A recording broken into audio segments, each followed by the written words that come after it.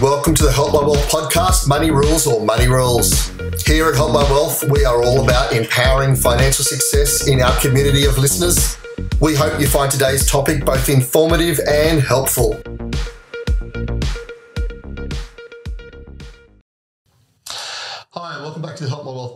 Money Rules, Money Rules. I'm your host, Stephen Logan, and with me today, as always, is Hamish Ferguson. Hamish, thank you for coming.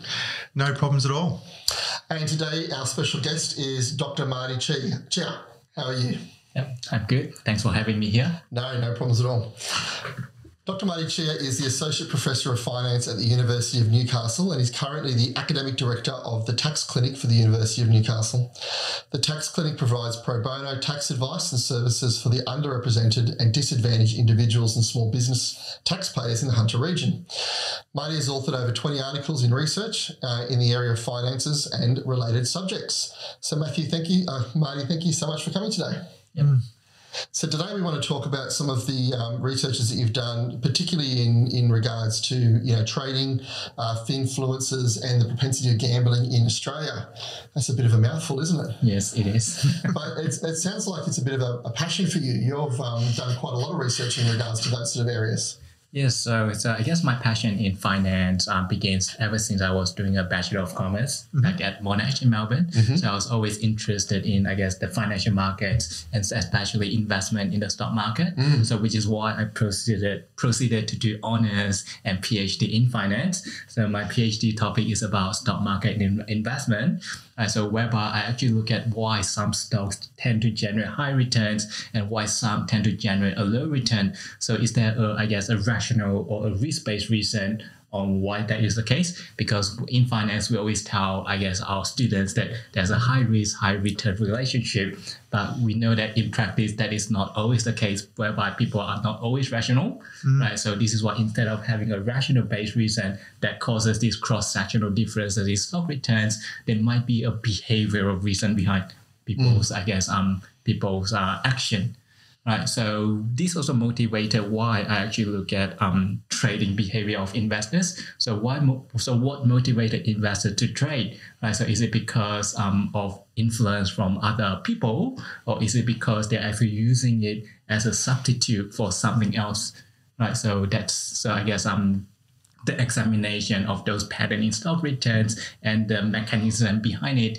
is what always interested me. Mm. And so, did uh, so obviously it sounded like your interest started with um, stocks and, and stock returns and, and the stock market, and then um, you know it, it, moved into the areas of gambling and and and you know the propensity of gambling in Australia and in other places. Do you find there's a, a, a correlation between the two? That uh, you know people, some people who use the stock market um, and some people who do gambling have a similar sort of view and, and outlook. Yes, so, so I guess um, in terms of academic research, so there's always this, um, I guess, um, common understanding that we have some, of course, all investors are different, right? Mm-hmm. So there'll be some, there'll be more professional and more rational, and there'll be some section that we call um, gambler investor yes. that actually use stock market as I guess as a way to in a way take a punt. Yes. Right. So so of course right. So there's uh, this correlation between those subgroup of investors right? So between their gambling propensity and how often they trade in the share market, yes. and there are some stocks that tend to attract the attention of those um, gambler investors more, yep. right? and those stocks tend to have, I guess, greater volatility, and uh, they have like a greater chance of having a big one-day positive or negative return yep. because that seems to be close to gambling behaviors. Yeah. So look, I wanted to start by um, you know starting with the gambling and, and, and talking about that. I mean, I, I was uh, always assumed that Australia had um, a large gambling um, you know habit or, or culture, um, but I was quite surprised to find that we're, compared to the rest of the world, we're actually quite high up there. You know, where, where does mm. Australia sort of sit in regards to gambling and, and gambling habits, like per population? Yeah, so that's that's a really good question because I guess we, if we think about the Australian population, right, so it's quite small relative yeah. to like I guess other big countries like the United States or China. But on a per person or a per capita basis, we are actually the nation with the greatest gambling behavior. Right, yeah. so uh, a statistics uh, from the Queensland Statistician Office actually shows that uh, on a yearly basis, Australian gambled over two hundred million dollars on various gambling related activities like casinos, gaming, and online platforms, and we actually lost over twenty billion dollars.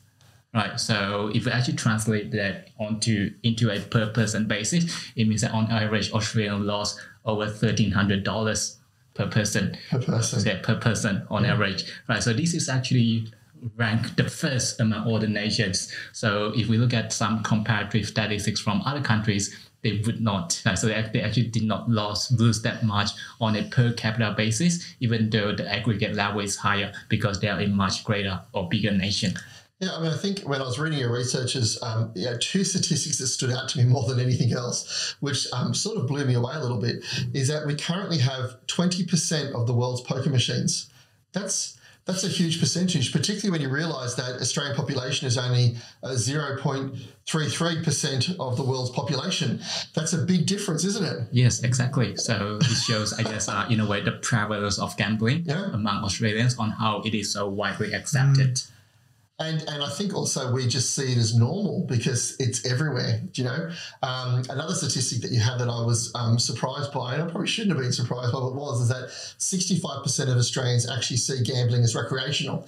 That it's actually a hobby, uh, it's a sport, it's, it's it's one of those. It falls into those sort of areas. Yeah, so yeah, so that's right. So I guess you know it, it probably also correlates with how we are also passionate about our sports in Australia. yes, Uh, yes. So we all watch like Australian uh, football, rule, uh, Australian uh, rule football, rugby, and even tennis uh, at the Australian Open, for example. So there's probably a correlation between those events and also gambling, It's because I guess when you're out with your mates, right? So we all want to take a part and also enjoy those events together. It is interesting though when you think about it. Like, and and look, please, you know, here that I'm I'm not trying to prom- promote gambling here, but when you think about thirteen hundred dollars a year, right? So, and you, if you just said, okay, is it okay to put that level of time and come out thirteen hundred dollars worse off? All right. Hmm. So, I mean, there'd be lots of things that the average family would spend on a regular basis that would come to thirteen hundred dollars a year. All right. So it, it, it is interesting in the sense that you know how, how does this become normalized? Well, it's probably ways of explaining it like that. Well, thirteen hundred bucks, you know, that's all right. If I'm only losing that amount of money, right? But of course. There'd be a lot of people on a huge amount of money that they're losing. Yeah, well, that I mean, that's it. It's the average, isn't it? Mm. so there's there's people that are losing thousands upon thousands upon thousands of dollars. You know. Yes. I mean, I didn't see this in the data, but you might know something. Is there any statistics that talk about the percentage of Australians that actually do gamble? Yeah, so so um, I guess um we don't have that statistic in a way, but uh, I guess um uh, as um as Steve mentioned earlier that about sixty five percent of Australian actually consider gambling as a recreation, recreational okay. activity. So at least sixty five So of us would have gambled. At least sixty five percent are saying that's that's one of my recreational activities. Yes. So there's probably another ten or fifteen percent out there that go, oh, I gamble every now and then, but it's not a hobby. Yeah, yeah, it's, right. it's what I do professionally. That's what I do professionally. Yeah, that's right. That's right. And um, look, one of the things I wanted to ask, I mean, I guess that the question that most gamblers and, and people that gamble will say is, is, oh, look, you know, we all know that people lose, but I win more than I lose. How does that sort of, you know, from a statistical point of view work? Uh, are, there people that win? You know, really well in gambling compared to others. Is there is there a whole lot of losers and a, and a couple of winners, or does it tend to be that most people that gamble, you know, the house always wins? That that most people do tend up losing over the long run. Yeah, so I guess from so that's a really great question because there'll be like this um, misperception or conception that oh, so if I saw someone winning big bucks on a given night, I could do it. Right? So it could happen to me. But uh, from a statistics perspective, I, so we have this uh, law called the law of large number, right? meaning that if you go over and over and over again, back to gambling. So the house always win because gambling do have a negative payoff, right? So it could be the case that you get lucky in one particular night. Mm-hmm. Yeah, but if you do it over and over again for the, the over the next year or two, then of course the, the statistics is actually biased against you, mm. whereby the house have a much have actually have a positive mm. payoff of winning money from you, whereas you have a negative expected payoff from gambling. Mm. I know that um, my, my grandparents um, on my mother's side used to gamble quite a lot, and my mother was a bit against gambling be- because of that. I remember when I when I turned eighteen, she said to me, "If you ever if you ever do gamble, as soon as you if you put your ten dollars into your pokey or ten dollars, you know, wherever you wherever you're doing it, as soon as you win the money back, you've got to put it back in your pocket. you know, you've got to win back what you've lost, and then you can only gamble what you've what you've won. Yep. And it wasn't long before I realised that uh, you know I never came away very often with more than what I hmm. I would put my ten dollars back in my pocket or my fifty dollars back in my pocket, but I didn't often go home with hundred dollars. Yes. I would often go home with the 50 because I actually put it away. Mm. Do you know what I mean? But I would always come back break even. Do you hmm. know? So it's very rare that you actually end up with the with the large win. Hmm. But when you do get the large win, you remember it, don't you? Yes, yes, that's right. And then you're going to tell everyone and which crazy is, I guess, um, by your statistics about how easy it is to win from mm. gambling. Yeah, yeah, yeah. Yeah, my story about gambling is that I remember being, I'm guessing I was underage, but um, you know, I'm not sure if I should be admitting that. But and it, and, and, it was on a horse, all right. So it was, you know, it was horse racing, and I remember there was one point where Hang on, were you riding the horse or you No, no. betting on the horse? No, no, that's right. And I, I, I remember wanting to gamble on a horse, and mm-hmm. this other guy that was in the TAB or whatever it was went, no, no, no, don't go with that one. Go with this one. All right. And so I changed my mind at the last minute and went for the horse that this guy had recommended because he had all the right reasons. And then my horse won. Right. And it was, you know, one of those 25 to ones and all the rest of it. And I got so angry, so angry. the, the, the emotion really was overboiling. I walked out and I never gambled again. Hmm. I never gambled because just the emotion that I felt at that point in time, it was, it was, it was unsustainable. I just couldn't get my head around it. So that I was it. wonder, I wonder what the story would be if you had have said no to him and gone for the 20 to 1 odds with the horse. And, Well, if- and your story here is like the first time I gambled at 17, I, you know, I walked away with $2,000. Well, that's right. Except that probably would have been the beginning of the end because I probably would have. Maybe I would have become addicted. Maybe you know that would have been something that I just kept putting more and more and money money into, but losing that whatever it was twenty bucks or, or, or on a on a horse um, was just enough for me to go. No, I can't do this. I, I don't have the the the. I don't know the stamina, the emotion, control, whatever it was. I mean, I think the thing that's interesting to point out with the recreation thing is that I've got some friends that um, that that uh, you know are involved quite heavily in sport, um, you know, betting on sports, and they do a lot of research, a lot of time, and a lot of energy, and they they're part of clubs, and they talk to people. It really is for them quite a social activity. So from their point of view, I, I could see why they would see it as recreation because it's it's it's a hobby for them. Do you know they've they know all the statistics of of you know which football players have you know going to score, who's going to who's done that, who's done tries, you know where they're at, whether they're fit, whether they're not fit, and and so they feel like they have a, a good understanding of of the game. So when they're putting their money down, you know there's actually some knowledge and, and research behind it you know? So from their point of view it would be quite a recreational social activity uh, just sometimes with a high dollar figure. So you know i think i guess in the end it's about actually setting yourself that budget isn't it Yep. and saying uh, if i see it as, as recreational as i see it as, as social if i see it as being fun i don't spend more than x amount of dollars per week or x amount of dollars per, per month Yes, exactly. So it's like um, when you do your budgeting, right? So you're going to put this money aside for your, uh, I guess, hobbies. Mm-hmm. Right? So it could be, let's say, going to a holiday, or it could be, let's say, on gambling. So as long as you don't overstress yourself and put yourself in a difficult financial position, mm-hmm. so I guess it's fine as long as you can afford to pay mm-hmm. for it. And I think it's something I've come across with some of the clients that I've done in regards to their budgeting that do gamble. They sort of say, look, I don't want to spend more than $100 a week, or I don't want to spend more than, you know, X amount of money. And it actually, um, yeah, because we use that data feed where we actually get live data from their bank account, so we know exactly what they're spending. Uh, even if they're putting it out in cash in the ATM, you can say, hey, what, what, what was that $100 for? and they've got to say uh, either it was for gambling or it was for, you know, eating, eating McDonald's, but, you know, it probably wasn't for purchasing something. Um, you know, it's beneficial. So it allows them to actually see what they're spending, and I think that's one of the main things when it when it comes to um, just cash flow and budgeting in general, but particularly in gambling, is to be able to go. I'm happy with that level of $100 a week or whatever it is. It's when you start going over it and you see that you've done 200 or 300 or 400 dollars that week that's when you go okay i need to pull myself back and, and, and make it more of an effective you know budgeting strategy here Yeah. So if I can go backwards a step, Mardy. So um, you know, I guess in Australia we have this probably phrase that you know when it comes to the stock market that. Um, you know, I'll, I'll get a lot of people come in that might be more comfortable with property, or they might have never invested, and they'll go, "Oh, investing in the stock market is just like gambling." All right. So, so where did that sort of connection come from? So obviously you've got a finance background, you studied this, right? And then all of a sudden, some, some one day, some pennies dropped, or somebody said something to you that made you start thinking about this this concept of stock market and gambling. Do you remember how that connection came about? Yeah, so yeah, so this probably happened uh, a lot more in recent years when the COVID pandemic, COVID nineteen pandemic started. Mm-hmm. So I do remember back then. So in early two thousand. So I think we have this lockdown from Yep. February or from March Yes. 2020. So I actually started getting phone call and messages from friends and relatives that I don't really know them well, and then they actually started asking me about share investment.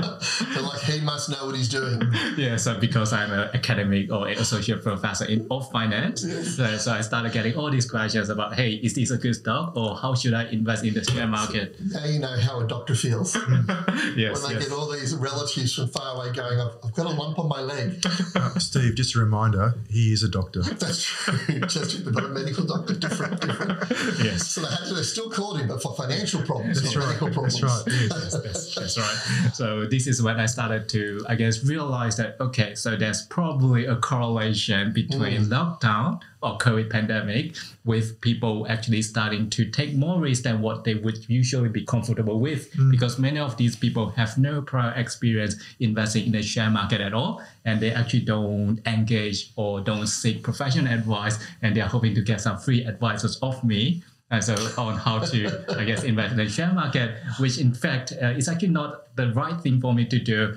because um, in order to be providing financial advice, I need to be licensed in a way, right, which I'm right. not. Right. So that's why uh, I guess I'm trying to do the right thing, and I was trying to guide them to the correct resources that uh, that actually do have um, the license to provide those advices. So it's more about an information session from me rather than an advice Did session. Did you have like a, a form at the front of your house where everyone had to sign to say, I did not receive financial advice from, you know, Dr. Mardy Chiah? yeah, so I, I trust that they won't, I guess, uh, betray me in a way. So yeah, so but I do tell them that oh, you probably need to get a, a professional financial advice because this is not something that I would be able to do on your behalf. And then of course you are going to say that if you win. The winnings or the gains belong to you. Yes. if you do lose money, you're going to come back to me Oh, and totally. seek compensation. Totally, totally. So, look, um, that research was was was fasc- fascinating research when you were correlating the COVID nineteen and, and lockdown and, and what happened with gambling. So, um, for those of our listeners that haven't read the research, uh, you started to notice that um, obviously as lockdown happened, you know the the horses stopped running, the dogs stopped running, people stopped playing sport. All of a sudden, all these avenues where people were able to to you know bet and, and do gambling were no longer available.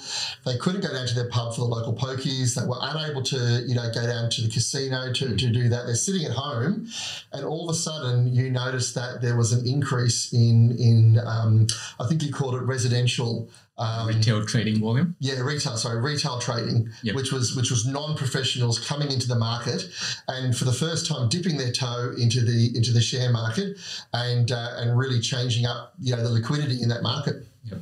So so talk us through where did that sort of come from? How did that how did that sort of start?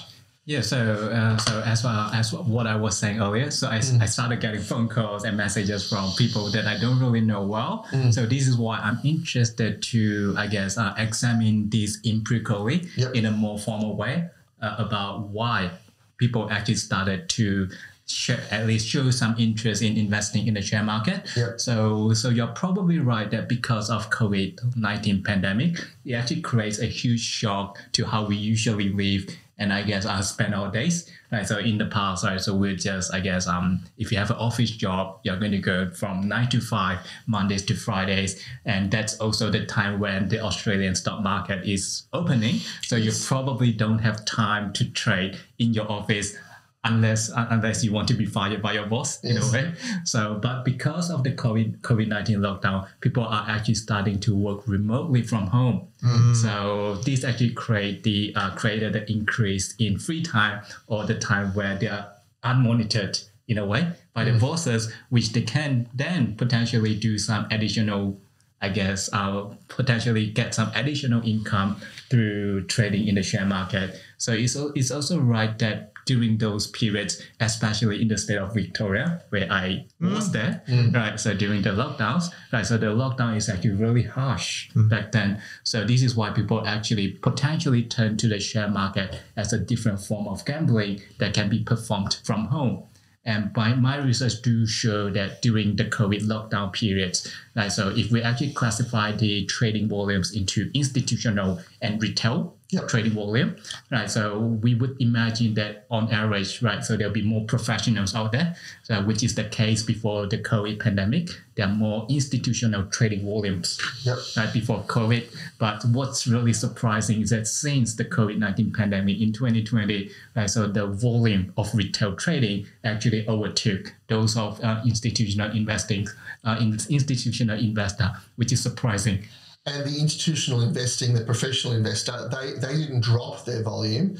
It just all of a sudden, you know, they kept their similar sort of volume, but but this retail volume, this this you know, the average mum and dad, all of a sudden have, has increased, you know, the volume that's actually coming into the share market. Yes, exactly. So uh, on top of my head, so I can't remember the exact uh, numbers, but I believe that uh, from my paper, like so the institutional trading volume did increase by about 10 to 20 percent from memory, but the retail volume actually increased by more than 60 percent, which is really substantial.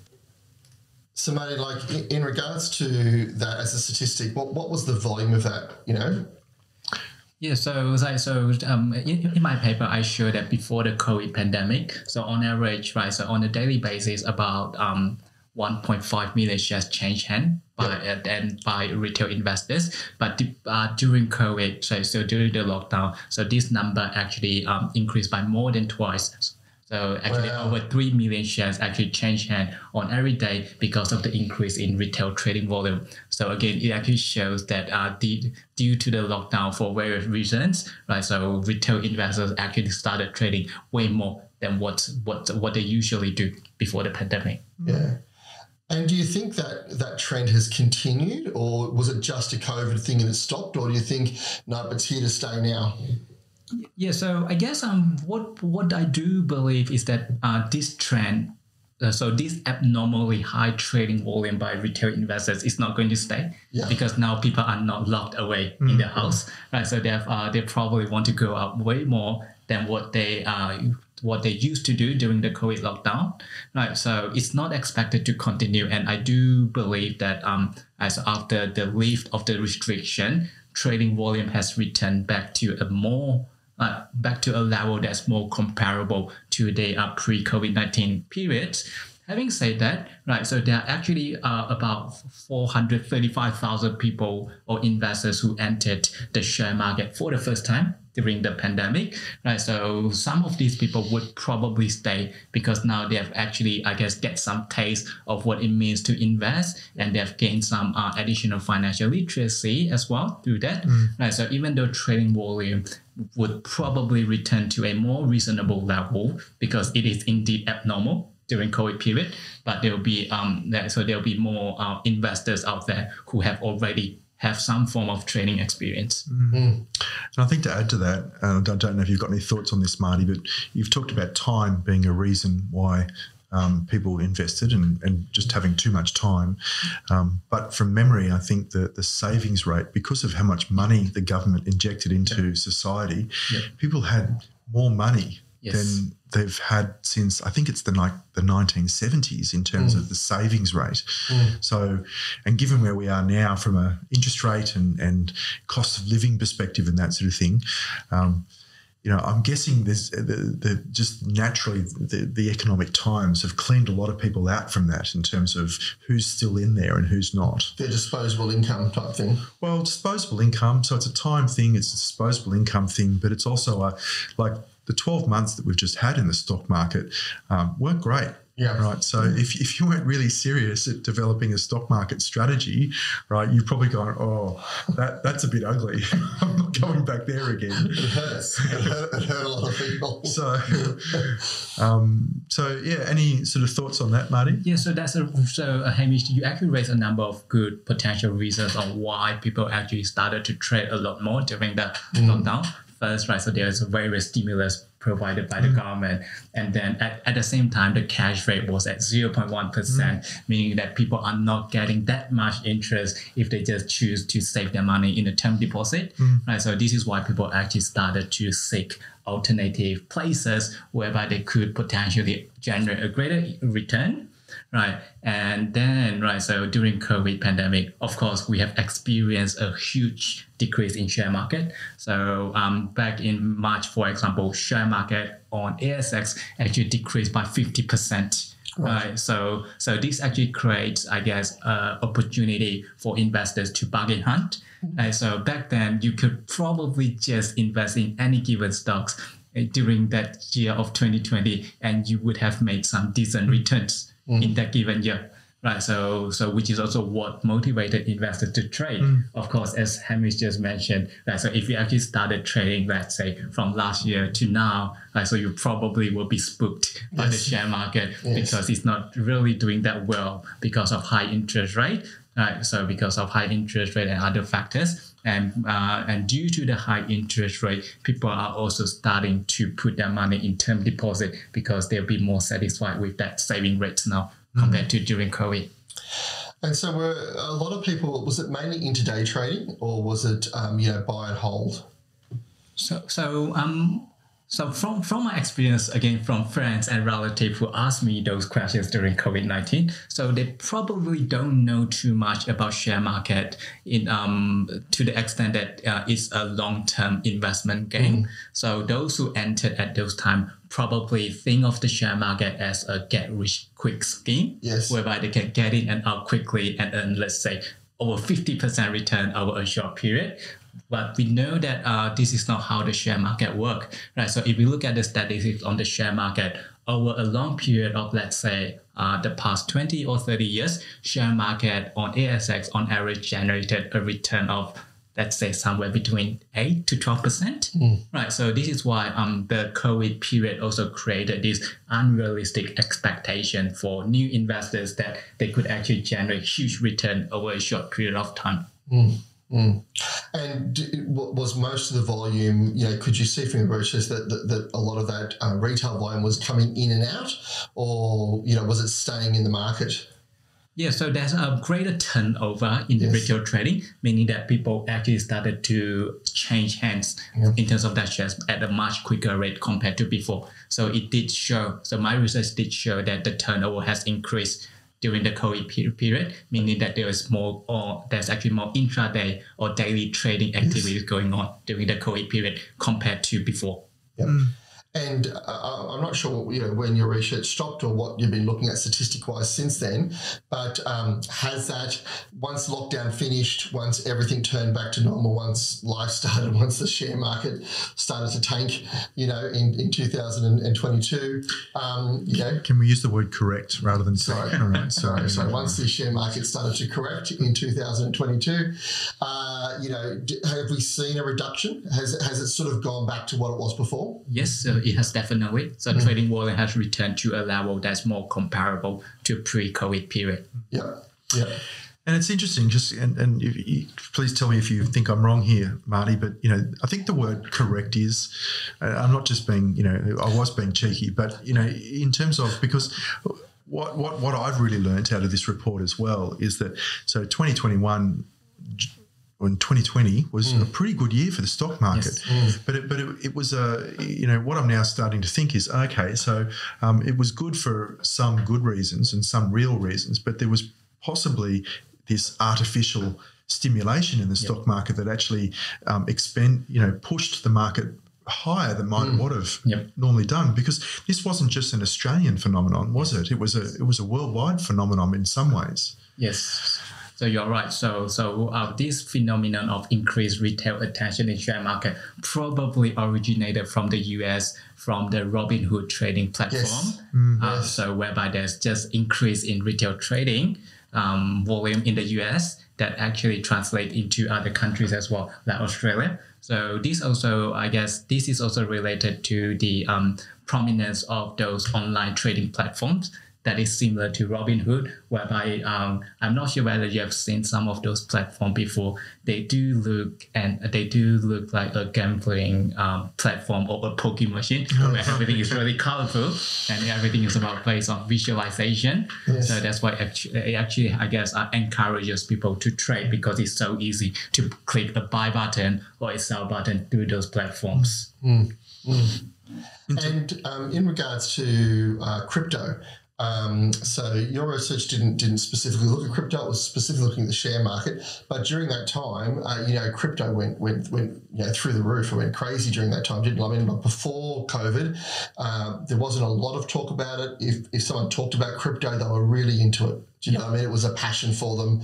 Uh, it was their hobby. It was their you know what they what they did. Whereas through COVID, everything changed, didn't it? Yeah, so so I guess uh, um, yeah, so you, you actually make a really good point that um that I also want to uh, bring back to Hamish's earlier point about uh, the artificial stimulus provided by government at that time. So people have a lot of money, but uh, the saving rate or the cash rate is really low at that time, right? So in finance, there's we always know that there's this inverse relationship between price and interest rate. So when interest rate decreases, prices would increase.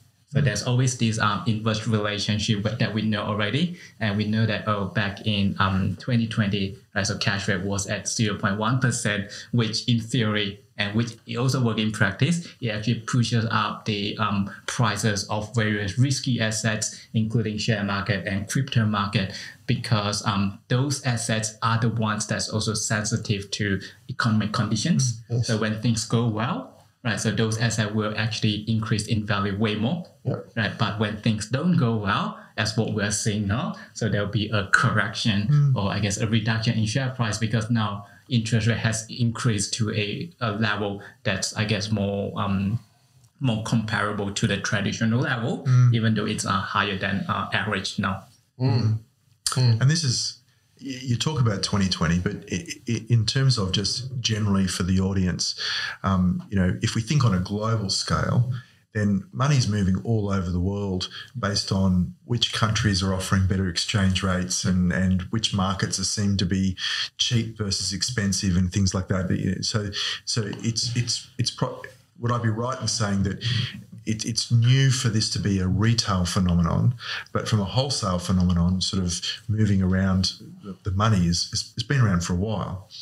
Um, so, um, but you know, this this you're right. There's this concept of saying, well, what is a reasonable return for the current market is really, I guess the you know, to me, what you're saying as well, and this is a bit of a penny drop moment for me, is sort of going, well, okay, so um, from a risk return point of view, which is something that you talked about before, there's these long term averages. And whenever markets are behaving that's unusual, right, you, you really have to ask yourself the question why, all right? Yep. So, um, because generally there's something going on that the average person can't see. W- would you agree with that? Yeah, so you're right. So I guess uh, it goes back to I guess the importance of I guess doing research and understanding the long term I guess trend of what you get yourself into, right? So uh, earlier I've mentioned about uh, retail investors back in 2020 having this unrealistic expectation of getting rich in a really short period of time. We know that that's not the case, and that's what our institutional investors also know. So this is why the increase in trading volume is actually more, uh, I guess, more um, normal for institutional investors compared to retail traders, whereby they all just started to pump or put more money in the share market due to, I guess, um, the unrealistic expectation about returns. And of course, right, so those investors are probably the category that is also um, not familiar with the risk and return trade-off. Right? So if you get a really good return in a given year, probably so if we if we think about the long-term average, it's probably going to be closer to average over the a longer term period. Mm. Sorry, Mardy. I know Steve asked a question about cryptocurrency before and just how that fitted in. So I think I stole you away for there for a little while. So did we cover off on that question, Steve? Uh, yeah, I think we did. But I mean, look, you know, I, I found the um, phenomenal of, of, of the phenomenon of cryptocurrency quite quite interesting over that period of time. I mean, everybody was talking about it. Um, I mean, goodness me, I think my parents even brought it up in a, in a subject. I didn't even know they knew what, what it was, let alone to ask a question about it. Mm. Um, and so, so many people were getting involved you know? Um, and I think that leads me to, to my next question in regards to, to finfluencers. So uh, all of a sudden around COVID, we had these finfluencers that, that had been there before, but they really came to the to the forefront during that period of time. Um, how much did finfluencers affect, you know, the stock market, uh, affect the crypto market, affect the property market? I mean, where did they sort of come into? Yeah, so so um so that's actually uh, a survey conducted back in 2021 mm-hmm. by um by um I believe um don't hold me to that. I believe this is a survey conducted by ASIC mm-hmm. that shows that during 2021, right? So um about 28% of young people followed at least a influencer and out of those uh, people who at least follow a influencer, 65% of them, so about two thirds of them actually change their uh, financial behaviors. So this actually shows that um, so young people's trading or financial behaviors did change because of these influencers. So they started, for example, investing or they started following the advice or information given by those influencers in, rela- in relation to their investment or I guess a spending habit. Mm. So almost one in five young people change their behaviours. Yes. Um, because of influence. So 28%, so about, let's say, one third, mm. like close to one third, mm. followed a influencer during that period, mm. and 65, so two thirds of them changed their financial behaviors as a result. And, you know, as time went on, we started to realize that, um, you know, a lot of influencers weren't just, you know, A, they weren't professionals. Yeah. Um, so they, they, they were just sprouting information they'd picked up or what they thought wasn't actually you know professional advice um, was firstly, but secondly, uh, it turned out a lot of them were actually being paid to to give this advice to to actually support other industries as well. Yeah, so exactly. So I guess um, uh, in a way, there's no free lunch. So there must be a reason or a motive on why influencers or people will start giving advice for free yeah. on the internet through social media platform like TikTok or Instagram, right? So there are two, I guess, widely accepted reasons on why they might want to do that. First, as you mentioned, Steve, so it's, it's, it's about, I guess, getting those um, additional collaboration opportunities like sponsored content mm-hmm. or speaking events or even the chance to write a book, yes. right? And um, another reason is that they might actually engage in this behavior called um, pump and dump Right, so whereby they encourage uh, their followers to purchase shares that they have personal interest in. Yes. Right, so this actually uh, inflated the share price because yep. with greater demand, right, so share price would increase, right, so which would, which would which they would then uh, profit at the expense of those uh, followers. Mm. Right, so I guess it's really important for I guess followers or young people to also understand their motive and of course the background whether they have a related um, background is also important, right? So um, at the same time, it is important to for us to know that there must be some reasons on why people are giving financial advice for free at that time, right? So it's probably uh, so those influencers are probably not telling you the entire truth about how they succeeded unless they are also giving you advice on how they succeeded as a influencer. Mm. Mm. Right. And uh, look, I, you know, I think there's lots of stories where, uh, you know, often sort of that pump and dump ideas, particularly with crypto. Yeah. You know, they'd, they'd, they'd buy coins quite low. They would then, um, you know, uh, get out there and, and, and really push uh, that coin. They would watch it go up to to the high, they would then get out, yep. uh, and then they'd stop promoting it. Yes. And it wasn't long before it would actually just just dump and tank after that. Sorry, correct. oh no! When it comes to crypto, you can use dump. Right? Oh, can I use dump and tank for crypto? Right? Oh, okay, hang on. There's some bias bias coming Yeah, out a here. little bit of bias. Yes, that's what I'm saying. Yeah, so maybe those influencers should be actually giving advice on how to be a successful influencer. Yes, Well, that's right. That's right. Rather than on rather than on crypto markets. Yeah. So look, Hamish, um, you know, from your point of view, you, you've got a financial background. You've had to do lots of study to, to be able to uh, have a financial license, uh, and there's a lot that you have to do to uh, regulations wise to be able to give financial advice. Um, can you help our you know listeners understand uh, what happened there with influencers who literally had uh, no background, no professional, uh, were, were you know some were doing this pump and dump, and and some were being paid by third parties to you know to encourage uh, behaviour. Um, the government corrected that. So can you just talk us through how that happened?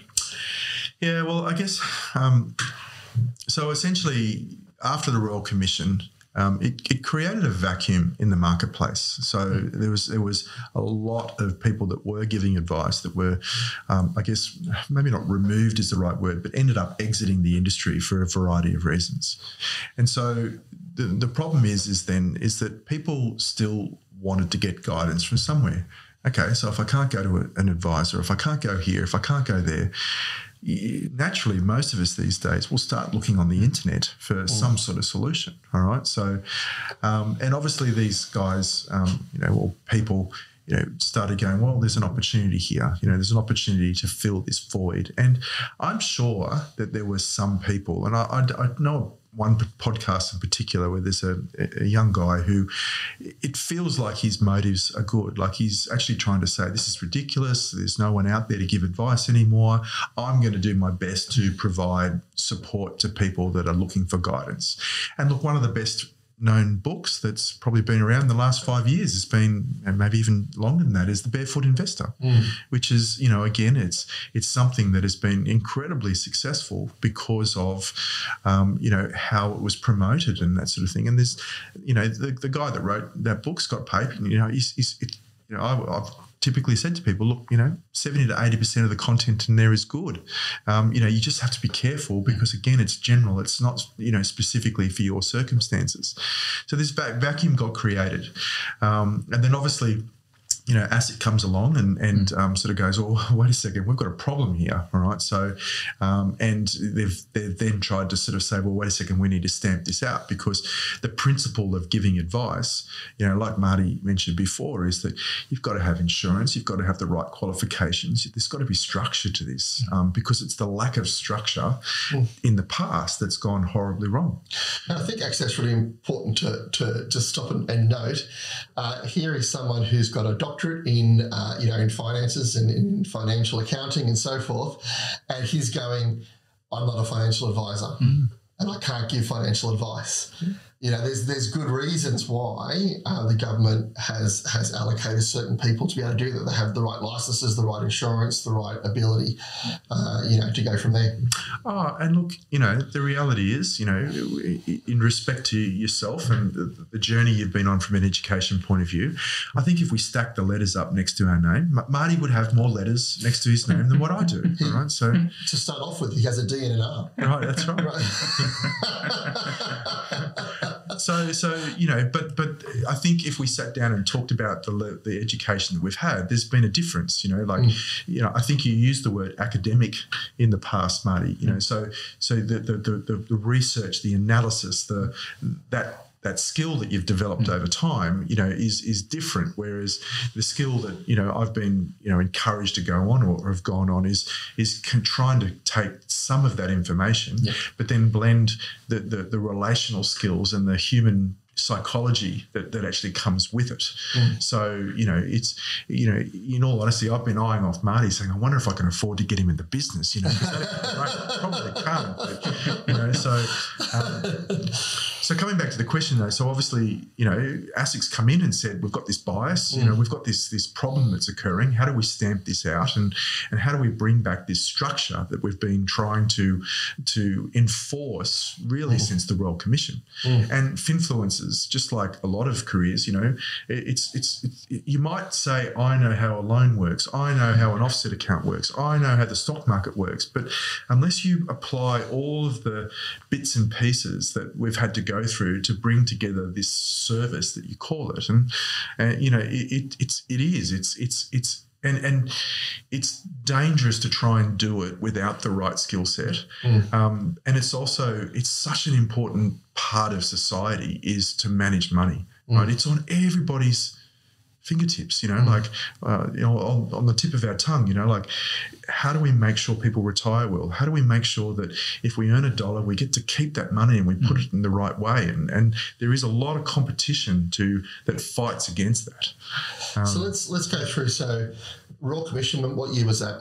Mm, 2018. So 2018, Royal Commission comes in and says, okay, if you want to be a financial advisor, this is now the level of financial advice you have to give because there's been too many people out there taking money and not giving good advice or not enough advice. And so they, they, they make a, a standard and they say, right, you have to attain that standard. So all of a sudden in the financial market uh, or financial advice market, lots of people leave because they go, oh, I just can't run a business that way. Do you know?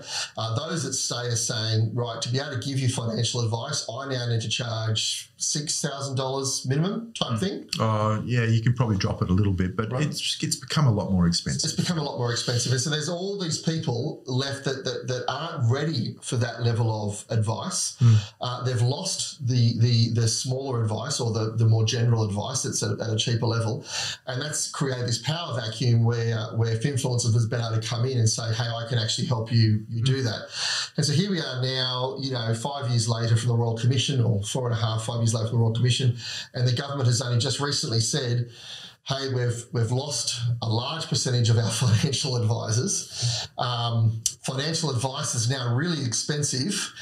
Uh, you know, while we while we feel like we've created a really robust industry, we've we've actually destroyed it in certain ways as well. Do you know what I mean? The level of advice is great, the professionalism is great, but the access is is you know dismal.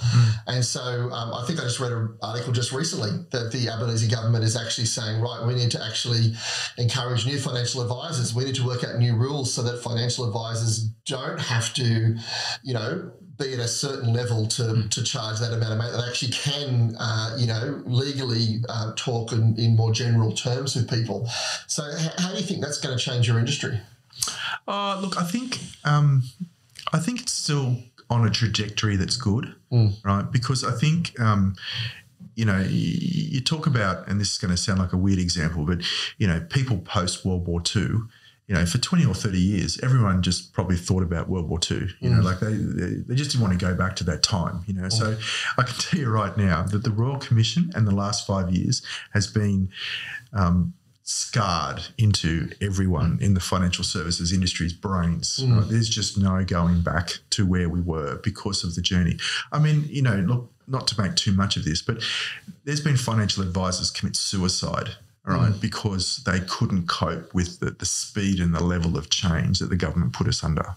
So it, it there's there's actually a really damaging side to this that um, that that nobody wants to go back there. So so in terms of that educational standard and making sure that that the people understand, well, now this is a this is we you know we've gone from what's called a, an occupation to on the journey to becoming a profession. I don't know if that's something you've uh, heard that phrase before.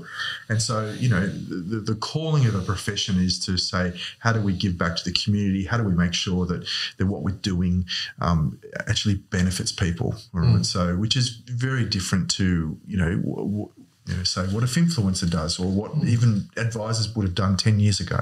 Mm. So, so, so sorry if it's a long-winded answer, but yeah, I, I don't think I, I don't think anyone's going to go, want to go back to the old days very quickly. All right. So, but the, you know, there's all these conflicting things like you know, um, okay, what does good advice look like? Does it have to be an 80-page document? Yes, that's right. All right. That's right. So, um, what does scalable advice looks like? And, and even from the point of view, a 24 year old doesn't want an 80 page document. No. Yeah, they don't want to pay for it. They don't want it. They don't want to read it. You know, so so it's about going where's the market for that, and currently there isn't a market for that, and hence why the the influencer phenomenon was able to actually you know take off. But um, look, moving moving away from influencers and, and going back to your study, um, when these Australians, the average Australians during COVID, started dipping their feet, you know, into this market, uh, all of these the retail volume uh, was it went up by how much? Yeah, more than fifty percent. More than fifty percent. Um, did did Australians make money? Did they lose money? I mean, what happened there? You know, the market was obviously rising. So, like you said, anyone who did a half decent trade was probably going to do okay during that, uh, you know, 2020. Um, but what were the what were the results in the end? So, uh, so that's actually a good point because uh, uh, even before the pandemic, we so there's already various research in the states and also in Australia that shows that retail investors are actually not that good if they choose to day trade. On average, they're going to lose money, which is not surprising Yes. because they're not professional investors. So this only shows that during the pandemic, because of the magnified uh, trading volume by retail investors, any losses would be magnified as a result. So my my study actually shows that um, this is actually the case. Right, so what I did is that I actually um, uh, classify stocks into stocks that most retail investors bought and uh, into like stocks that not many invest retail investors are interested. And I look at their return over the next 10 days. Oh, So this would give an indication of how much you would be able to earn if you choose to trade in a short period of time. So I actually find that if you actually uh, build your portfolio based on stocks that most retail investors bought, you are actually going to lose 7% just over the next 10 days. So this actually shows the danger of trading, um, trading, uh, I guess, intraday trading, meaning that uh, on average, even though we know that if we hold it over a longer period during that year of 2020, you would benefit. But if you choose to day trade, right, so there's an average loss of 7% uh, if you buy stocks that most other retail investors bought as well. Right, so if you look at the other spectrum, whereby um, uh, those contain the, the stocks that not many retail investors are interested in, so this portfolio of stock actually generated a positive return of 7%. Yep. So again, it shows that retail investors, or if they choose to day trade, they actually don't have the skill to pick the right stock because stocks that they pick generated negative return over 10 day period, and stocks that they don't like actually generated a positive return Yeah. over the same period of 10 days. So, Mardy, can I quote you from now on that if you take on a financial advisor, that your return will jump by 14%? So if you could Very perform- careful what you say here now, Mardy. Yeah, so, so that's what my research shows. If you could day trade over that short period of 10 days, right? So this is what pu- would potentially happen. But uh, as you all know, right, so you will have all you all have this disclaimer as well. Past performance is not an It's indication indicator of of future, future performance. So look, here's a question I wanted to ask you, and, and actually for both of you, this should, this would be a good question. I think the average person, the average retail trader, actually doesn't know what a professional trader does, what they actually go into. Um, can you give us a bit of insight? You know, the difference between, say, a retail trader who reads something in the paper, sees a influencer, or you know, Uncle Bob says. Oh, I reckon BHP is going to do well. Do you know what's the difference between that compared to what a professional actually does do? Do you want me to go first or would you like to? yeah, maybe. Yeah, okay. So I think the, the first thing is that um, what most professional investors are doing is they're actually looking at each individual company that they're trading in and saying, okay, do I, what's my strategy here? All right. So you'll get phrases that um, investors will use like, I, I'm more interested in income. All right. And, and I'll buy companies based on the, the, the evaluation method. All right. And then you'll get other investors that will talk about, I don't really need income or I'm not, I don't believe that this current season is suitable for a valuation method. I want to go with a growth method. All right. So, and and both are you know without sort of going too far down this this rabbit hole, you know both have very different philosophies for different points of time. So, so you know, ten years ago, all right, if you sat down and said I believe in a growth method, um, you would have gotten it right and you would have been quite successful.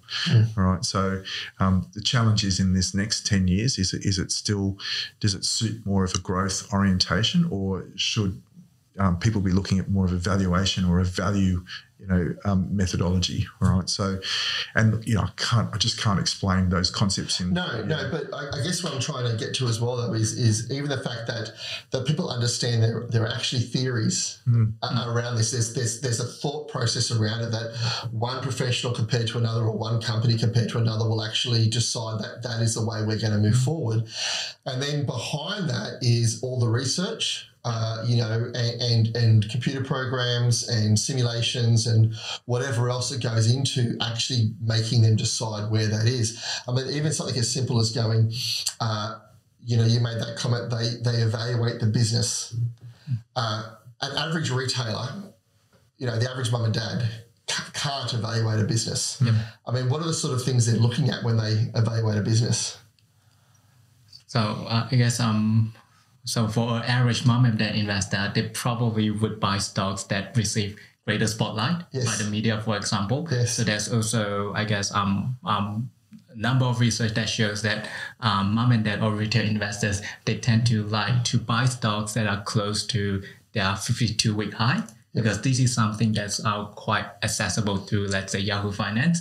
So, um, but we know that our past prices is probably not an indication of how the future price would be. So there'll be like I guess more um, more this for retail investors. They are probably going to base their trading base on feeling yes. or hunch a lot yes. more compared what to read. Yes, what yes. they've read. Yeah, that's right. And um, uh, they probably have this uh, simplified version of what's a good stock and what's a bad stock. So there's just two categories of good or bad. But even though, right, so for professional investors, there'll be like a spectrum of let's say one to ten if you look at um, the spectrum from good to bad, right? So it's not a, uh, I guess, by it's not a um, two category only for yeah. professional investors.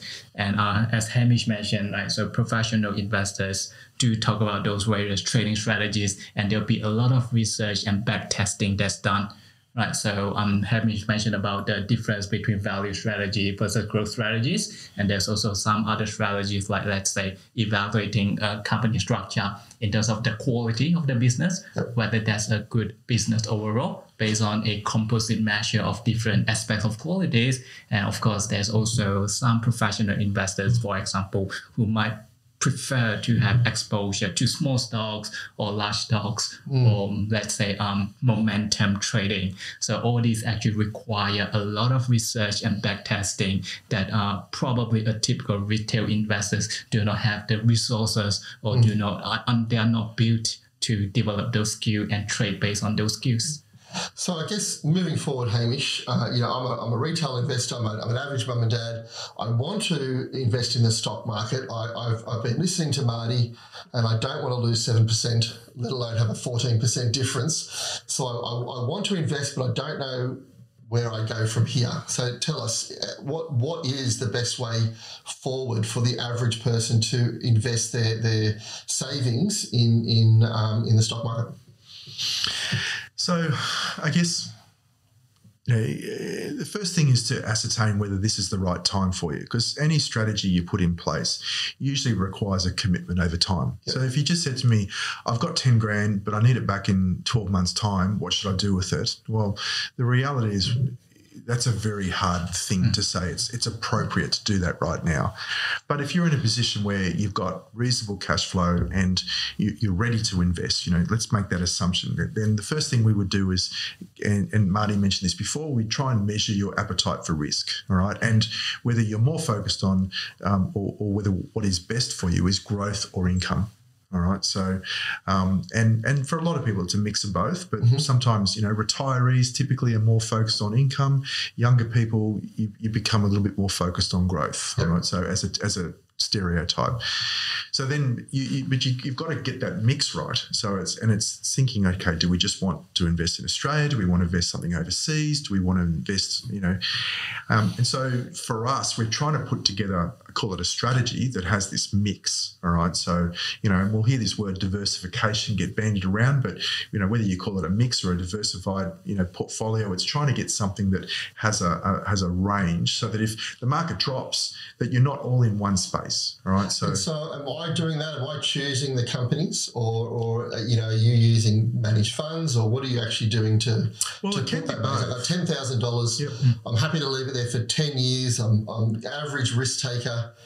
You know, where do you sort of go with Yeah, that? so I mean, uh, we probably tend to use managed funds more than shares, right? Yeah. Um, but I'm licensed to do direct shares. But you'll probably find that there are stockbrokers or other types of advisors that might be more suitable if you want a direct share strategy. Um, you know, typically what I say to people is you just have to appreciate that a direct share strategy needs you to really be sit, sit behind the wheel because you're going to be asked to make all of the major decisions. Whereas a managed fund is more set up for you to be able to go, all right, I don't want to make all those decisions Yeah. because I'll probably be more like a retail investor and I'll get them all wrong. Yeah. All right. So set me up with something where other people are doing a- a lot of the grunt work for me and and all I have to do is commit and continue with the strategy. So I think a lot of people's fear is that there's, there's a high cost involved in that. Mm. They hear professionals, they hear all this research, they hear all this stuff. They go, "Here's my ten thousand dollars. I'm putting it in a managed fund." I mean, you know, from a cost versus reward ratio, what what sort of happens for the average person? So yeah, look, I mean, you know, at the end of the day, the first start of is you need the education. So you might feel like it's a little bit expensive to start off with because you don't know what you're doing. All right. So, but the, the logic is is that if you put the right strategy in place and you've got the right time frame, and you allocate that initial cost over the length of the investment, then then it it should become affordable if the advisor is doing the right thing by you. All right. You know, and again, it, there is some economies of scale. You know, the bigger you go, right, and that's the problem with advice at the moment. Um, you know, but you know, long term, what I expect to see is models come out where it does bring the cost down. Hopefully, especially with this review coming out, that they will allow for um, you know um, investments to be put in place for lower values that don't have the same cost as what they do today. Because there's not as much oversight required for them. Well, yes. Like I know that uh, ASIC at one point in time talked about there should be a different set of rules if the amount to be invested is under ten thousand dollars versus over ten thousand dollars. But that rule's sort of been lost in all of the post Royal Commission, you know, um, stuff that's been going on. So, so yeah, there should be. I believe there should be, you know, a subset of rules that says if you're only investing this much, it's a lower risk. We don't have to have the complexity that we do if you're investing a much higher amount of money. Yeah, hundred percent. So, um, so yeah, it- it's it's just it's the managed funds I think suit more retail investors simply because it takes a lot of that emotion and that um, that risk of of individual behaviour mucking up the portfolio. Would you agree with that, Mardy? Yes, so I think uh, I do agree with you, Hamish, and this is also shown uh, in, in prior research Yeah. that uh, if if you as a in retail investor, if you don't know what what or how to start, is probably best to start with something that follows the market, mm-hmm. fund. Yeah, because it will be far more difficult to perform stock picking mm. because most people or most mom and dads would not have this skill to mm. begin with. So instead of, I guess, trying to develop a strategy that aim to outperform the index or the market, uh, so probably the best return that you can get is the market rate of return by mimicking or following the benchmark. So that probably can be a great starting point, as Hamish mentioned. Uh, so have creating this or following those management with diversified portfolio of stocks that try to mimic rather than beat the market performance. Absolutely. And uh, also, I guess I also want to add um, um, that this also goes into the difference between active and passive trading. Right, so uh, I think uh, Hamish might have mentioned as well. If we trade more, right, so the transaction cost might become uh, quite significant. Yes. Which which is also why, right? So probably um, right. So this is shown by research as well, right? So over the long time, a more passive trading strategy that mimics the market benchmark is probably the best starting point as we gain more and more financial literacy or trading skill. That's when we can then start to maybe perhaps consider some of the active stock selection skill in order to complement our, our passive managed fund portfolio. Great. Well, look, I'm going to whiplash you a little bit and take you back to the beginning of the podcast. So, in, in, in wrapping up what we've been talking about, um, we started off talking about gambling, and I wanted to ask you, uh, you know, with all of your research and all of that you what you've been doing, uh, do you think that um, you know uh, there's a big call for more regulations around gambling.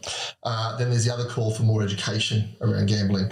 Do you think that it's either or, or it's sort of both?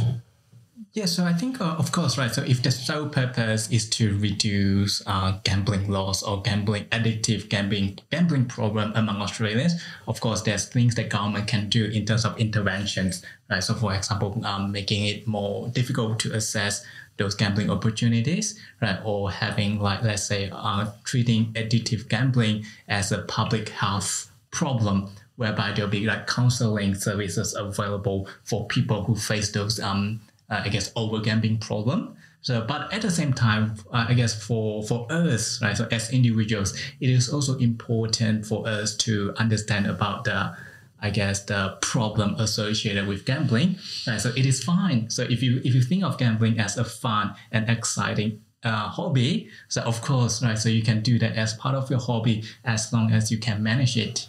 Right, so the problem is addictive or, or over gambling, whereby we're actually over gambling to the extent that it actually causes our life saving or to it actually put is put us in a really bad financial position that we can't actually pay out pay out debt obligations due to over gambling. Mm-hmm. Right. So for me personally, so I've mentioned earlier as well that I know that gambling on average come with a negative expected payoff. So this is why personally gambling is not probably is not something that I would do as an academic in finance. And second, I don't find gambling as a fun and exciting activity myself. So that's not that's probably not something that I'll be able to do.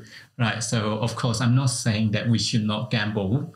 Right. So I'm, I'm just saying that if you think of it as a fun activity, uh, think about uh, um, think about it from your own personal perspective about how it can be affordable or how gambling spendings actually fits within your budget as a hobby. Mm. And if I can add to that, I, I, totally agree. And I think probably from what I hear, one of the biggest mistakes that we can make is we call something an investment, but it's not an investment, it's a lifestyle decision. Mm. Right? So um, we call something an income generating activity like gambling, it's really a lifestyle activity. Mm. All right. So so having that that, you know, um, ability to really categorize it properly and uh, to, to an extent for most of us, don't kid yourself. You know, uh, that's really what it comes down to. Um, yeah. Yeah, fantastic. Well, look, I've really enjoyed having you. Thank you so much for coming and talking to us about uh, gambling, talking about the share market and, and you know trading, uh, what happened during COVID, and, and even you know dipping our toes into into finfluencers as well. We've, we've covered a lot of topics today, yeah. but I really appreciate you coming along. So so thank you so much for coming. Yeah, yeah. thanks, Mardy. Appreciate Pleasure it. to be here. Now we do have a question we do ask all of our guests. Uh, so two questions. Firstly, what would you tell your 18 year old self if you could go back and, and sit down with him, what would you say? Yeah, so so that's a good question because um yeah, so 18 when I was 18, that's probably uh, the time when I was kind of trying to be a perfectionist, mm. whereby I want everything to work out the way that I want that I want. Yes. So and then of course as we grow older, we start to realize that that's not going to happen. right? So we don't get all the big wins in life. So, so this is why I'll probably tell my 18 years old self to be kind to myself. Yeah. Right. And um and to trust that every one of us will have our own unique path. Mm, yes. Right. So to to succeed. So there's no one set path and yes. there's no one set way to be successful or to be happy in life. Yes. Right. And I'll also probably tell myself that uh, don't worry too much. Uh, just live at the present and believe that everything will work out at the end, one way or another. Right. So of course, right. So it comes. Uh, so you need to, I guess, be motiv- motivated, mm-hmm. and you also need to know what your ultimate life goal is at the end. Right. So of course, right. So ultimately, right. So we want to work towards a certain goal, but what's also important is that we also should enjoy the journey. Yes. So life is not about what's at the end only. Mm. So the journey towards that goal or that path is also something that's that we should all enjoy Fantastic answer. And the other question is if you're going to write a book, what would it be on and what would the title be? Okay, I'm going to start to sound like a boring academic.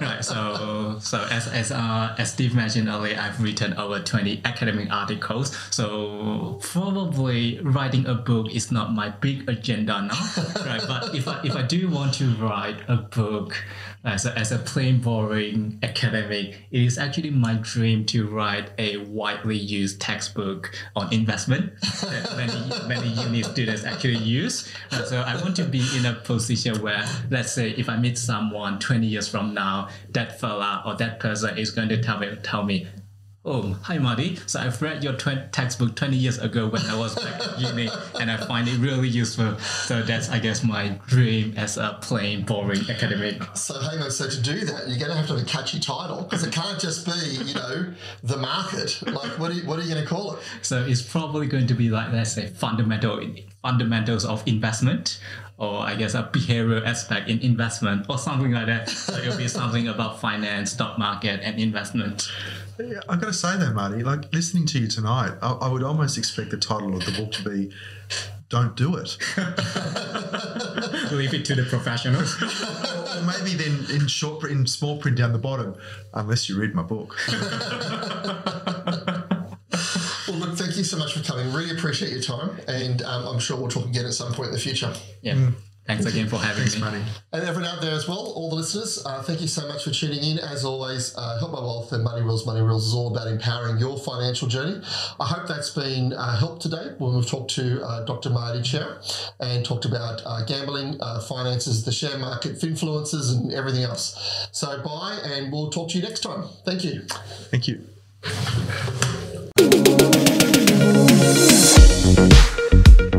The information discussed by the My Wealth and the Money Rules, Money Rules podcast is for education and entertainment purposes only and is generally nature and it is not advice. It is not intended as a substitute for professional finance, legal, or tax advice. It is aimed to provide a general understanding of each topic and should not be relied upon to make an investment or financial decision. It is strongly suggested that you seek professional advice regarding your own individual circumstances before making a financial decision. Help My Wealth and the hosts of the Money Rules and Money Rules podcast are not aware of your personal financial circumstances. Before making any financial decisions, you should read the product disclosure statement and, if necessary, consult a licensed financial professional. Do not take financial advice from a podcast. In the spirit of reconciliation, Help My Wealth and the Money Rules or Money Rules podcasts acknowledge the traditional custodians of country throughout Australia and their connections to land, sea, and community. We pay our respects to past, present, and emerging elders. We extend that respect to all Aboriginal and Torres Strait Islander people today.